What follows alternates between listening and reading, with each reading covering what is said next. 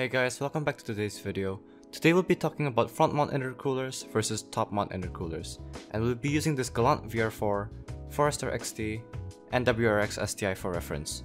Firstly though, what is an intercooler? Before we get into today's video though, I should mention that less than 0.2% of the people watching my videos are actually subscribed, so I will really appreciate it if you guys click that subscribe button. It doesn't cost you anything, but helps me out a lot, and you can simply unsubscribe if you guys don't really enjoy my content. Thanks guys. Anyways, on with the video.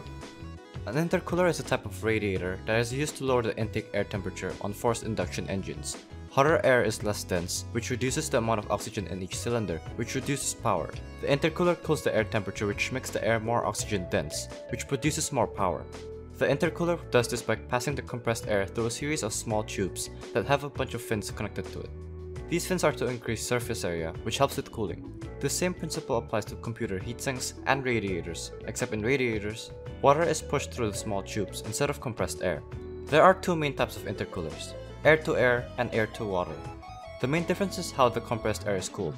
As the name states, with air-to-air intercoolers, the compressed air is cooled by the passing air, whereas air-to-water intercoolers are cooled by water which is either cooled by another air-to-air radiator or by filling the water tank with ice.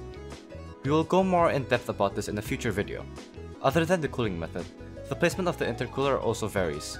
With this Galant VR4, it has a front mount intercooler setup where the intercooler is right behind the front bumper, so it has access to all the fresh air passing over the car. Meanwhile on this Forester and this STI, the intercooler is on the top of the engine, also known as a top mount intercooler. Top mount intercoolers usually require some kind of ducting or a hood scoop to push cold air through the fins. Now, onto the pros and cons. With top mount intercoolers, they have a huge advantage in cooling capacity and possible size since they are mounted at the front, behind the bumper. This is why most turbocharged vehicles prefer to use a front mount intercooler.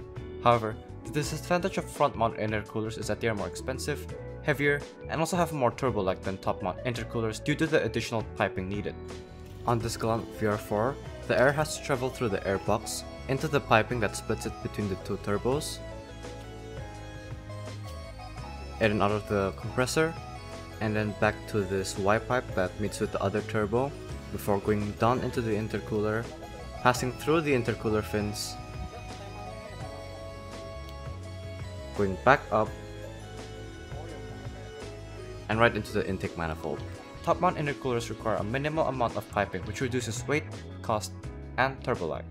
Meanwhile in this Forester, the air goes through the airbox, down into the turbo intake, up through the charge pipe, into the intercooler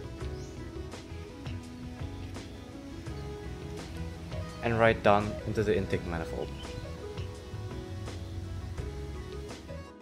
However, top mount intercoolers are restricted by space and are easily heat soaked since they are on top of the engine, which is very hot. This lack of space for larger intercoolers is what causes many to convert from top mount intercoolers to front mount intercoolers, most commonly seen in Subarus.